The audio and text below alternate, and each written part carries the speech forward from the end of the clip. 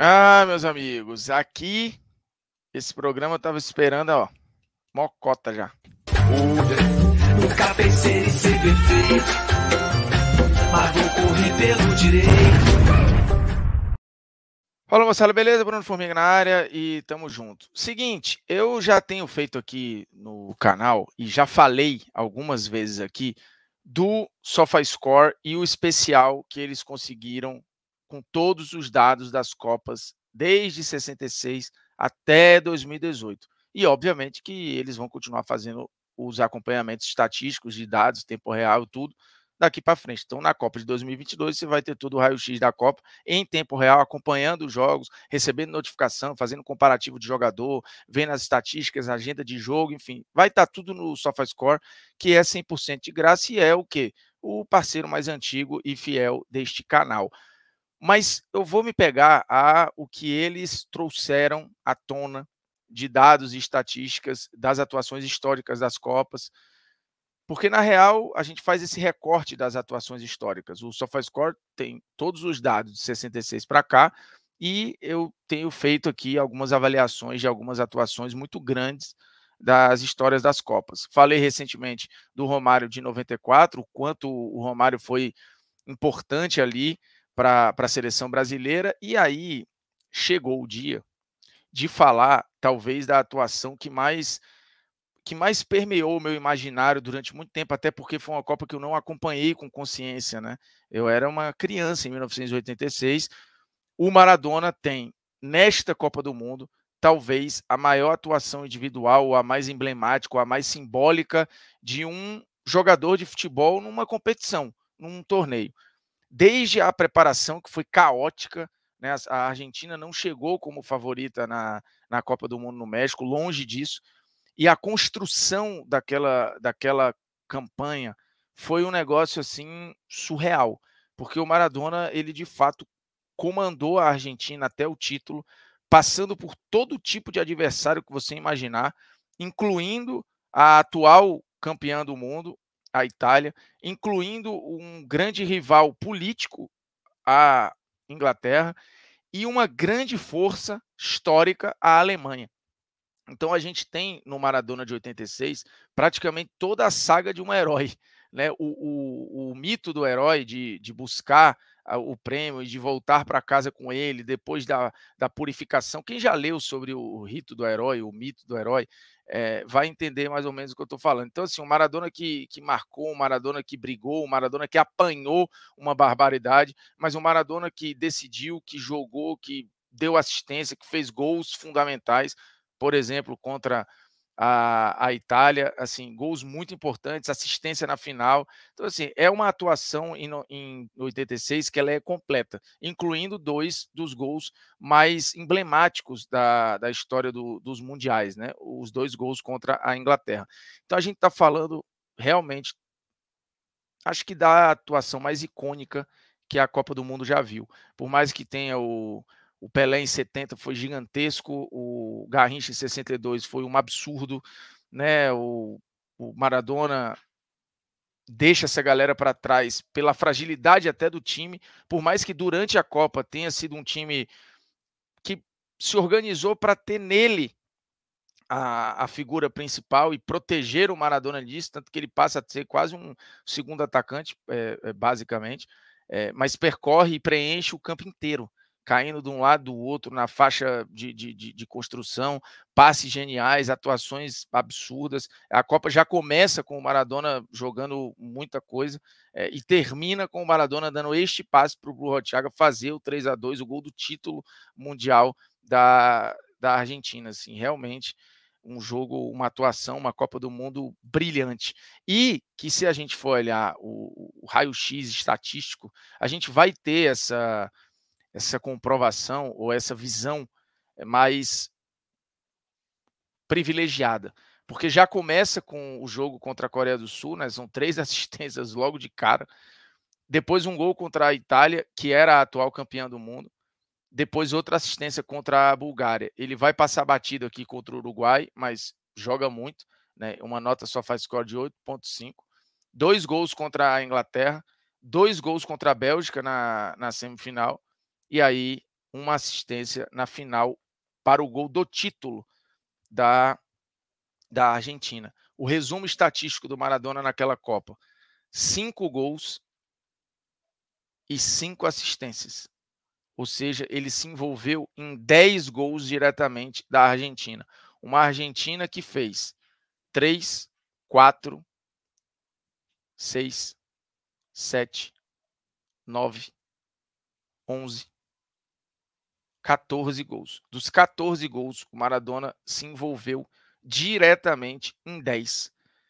Tirando a, eu não estou nem colocando aqui a plástica dos gols, a qualidade desses gols, a importância desses gols, são números frios. Mas tem coisas que não tem como avaliar. Por exemplo, 2 a 1 contra a Inglaterra. Isso aqui é, é pouco. É pouco. Não tem como dimensionar, porque ele é, não é tátil.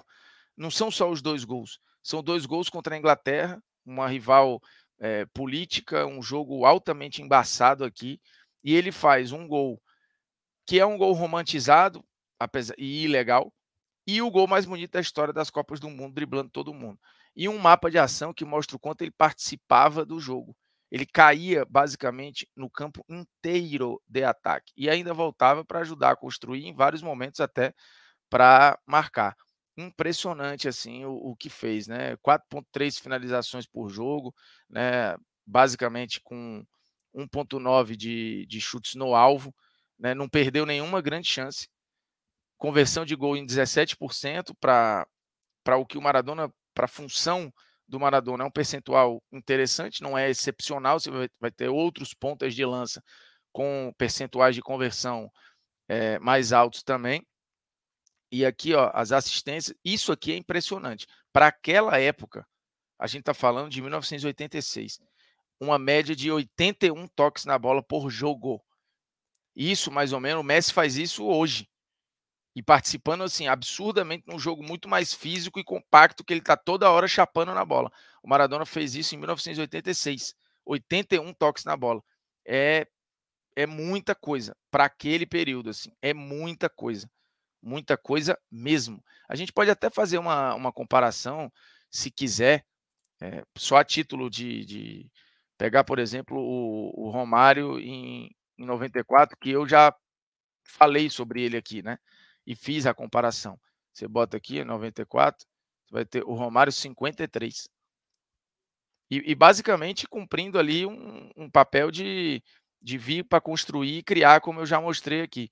E aí você quer pegar outro, outro exemplo de outra atuação maravilhosa, pegar o Pelé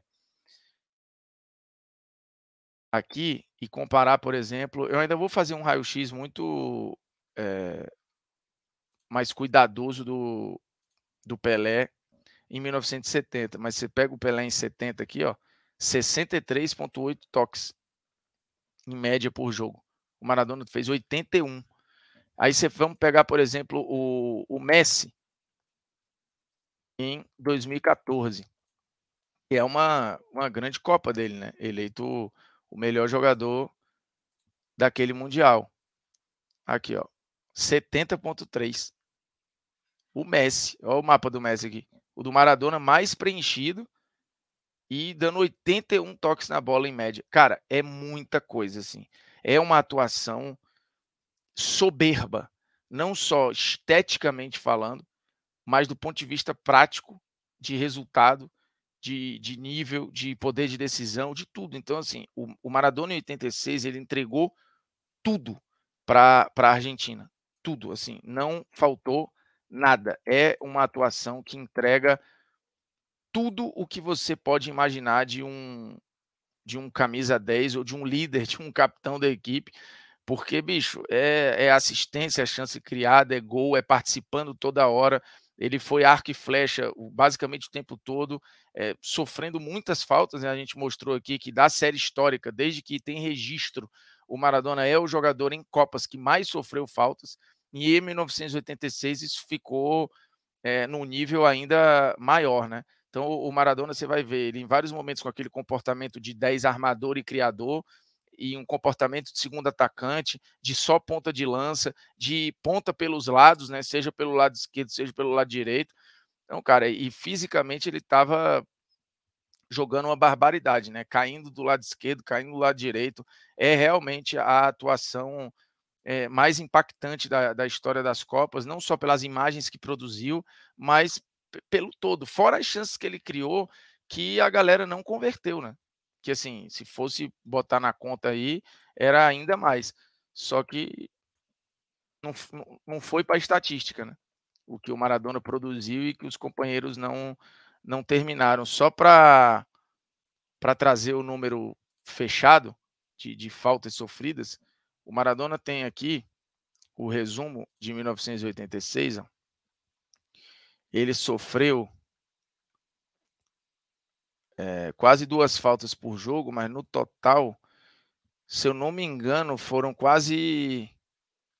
Cadê? Isso é faltas cometidas, faltas sofridas, tá aqui. Quase oito faltas por jogo.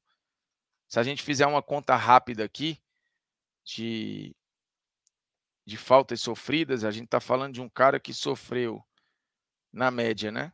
7,6, 53 faltas em 1986 sofreu Diego Armando Maradona.